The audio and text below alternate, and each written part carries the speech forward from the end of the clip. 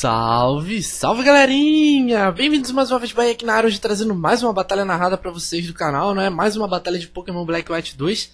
E a batalha de hoje é contra um cara randômico do Smogon, eu não lembro o nome dele, mas eu acho que é Fluff Unicorn Z, porque essa batalha aí faz tempo que eu, fiquei de postar, faz tempo que eu, eu gravei ela no computador. Então não lembro muito bem contra quem eu joguei, né? Mas eu sei que foi algum, algum carinha da Small e tal. Eu tava jogando uma batalha na Tire Never Uses, que é uma das poucas tires que eu jogo. Mas é sempre bom você estar tá jogando essas tires assim diferentes. E como vocês podem ver no time preview aí, o meu time é o de baixo e o do meu adversário é o de cima. Ele trouxe acho que dois pokémons defensivos, que é o Tangela com Eviolite. E provavelmente o Gardevoy dele deve ser algum especial tanque também. Por isso que eu, eu falei que ele tem dois pokémons defensivos já que o Tangela com Eviolite é bastante é, defensivo, assim, no caso, com os effortos voltados para defesa e tal. Então é sempre chato derrubar esse Pokémon com um hit só. Mesmo super efetivo, ele ainda consegue sobreviver graças a Eviolite. E eu também estou trazendo um Pokémon de Eviolite, que é o Gurdurr, que é um ótimo Pokémon para essa Tire já que Violite aumenta a, def a, a, defesa e a SP defesa de pré-evoluções. Mas a batalha começou aqui, espero que vocês gostem, então vamos lá.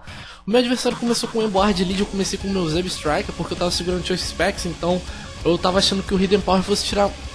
ia causar um dano monstro nesse Emboard, mas putz, velho, tirou a metade. E ele acabou me finalizando aí com Flare Blitz. E provavelmente ele deve ser Choice Band, porque eu não vejo nem Life Orb nem Leftovers, então ele provavelmente deve ser Choice Band. E vendo isso, eu decidi trazer o meu Electros porque eu tô com 7 misto, então vou poder dar um Revenge Kill aí com Thunderbolt ou qualquer outra coisa. Mas ele decidiu trocar no, no Gardevoy, justamente predicando algum golpe especial.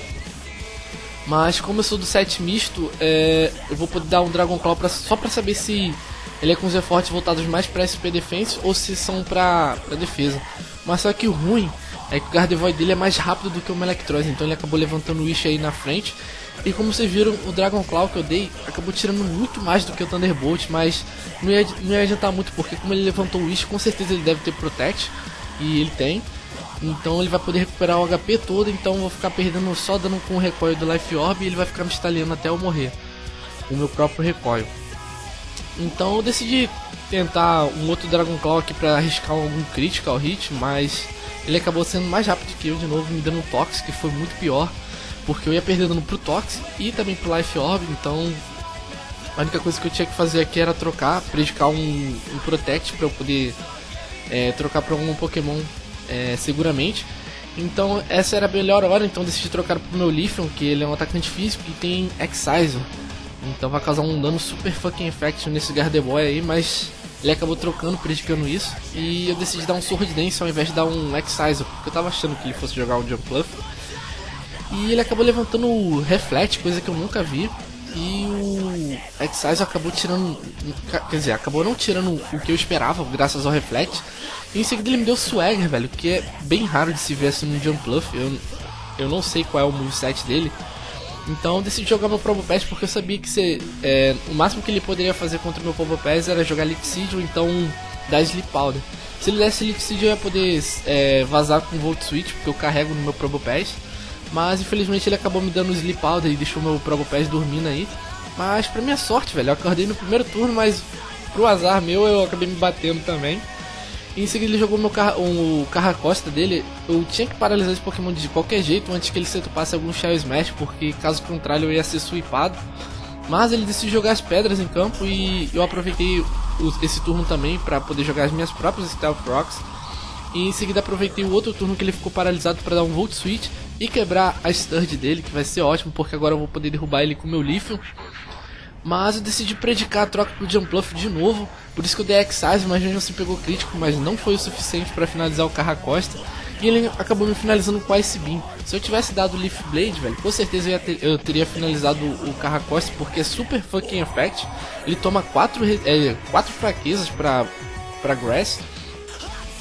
E em seguida eu joguei meu, meu Promo Pass porque eu sabia que esse ponto, pelo dano que o primeiro Volt Switch tirou, com certeza eu ia finalizar o, o Carracosta com o segundo Volt Switch.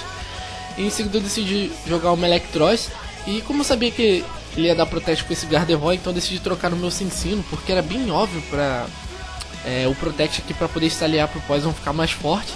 Então eu decidi trocar no meu ensino, porque com certeza eu ia conseguir derrubar esse Gardevoir com, com os golpes de multi-hits, porque eu sou adamante e também tô segurando Choice Band ainda. E mais habilidade Technician, que aumenta os golpes que tem base power de 25, acho que pra baixo.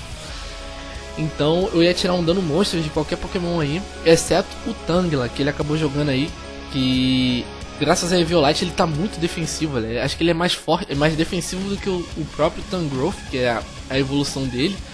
Mas mesmo assim eu decidi arriscar aqui que no máximo que ele poderia fazer era colocar o meu meu Cincino para dormir, mas ao invés disso ele deu Giga Dream, tirou bastante, velho. É, mas eu, eu devo perceber que o Cincino não tem boas defesas e SP defenses também.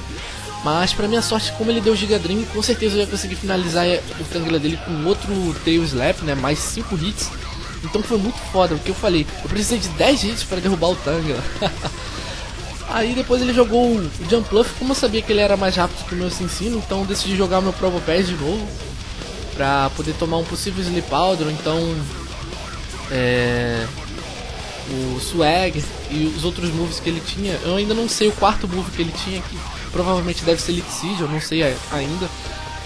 Mas ele decidiu colocar meu Probopest para dormir, né? Porque era o único que não ia me ajudar muito assim, a não ser pra defender. Em seguida ele levantou o Reflect aí com, com o Jump Bluff e eu continuei dormindo.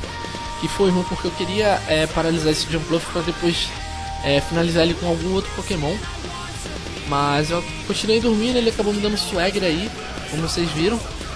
E acabou me deixando confuso, que eu, eu tava achando que não ia adiantar muita coisa assim, porque eu tava dormindo.